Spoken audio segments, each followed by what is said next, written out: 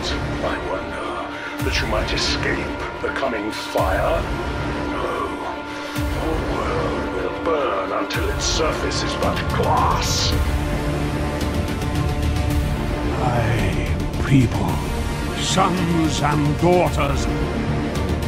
For years we worked away on empty stomachs, slowly rebuilding our strength, our pride, and our nation.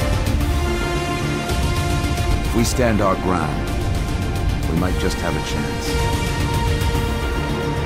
Only you can halt what he has set in motion.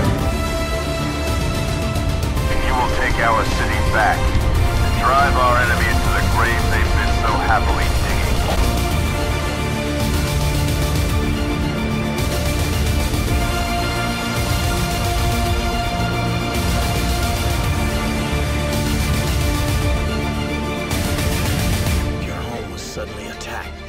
show up out of nowhere. They burn and destroy whatever they want. They kill your friends and your family. You would take up weapons and devote your entire life to getting revenge. They outnumber us three to one. Then it is an even fight.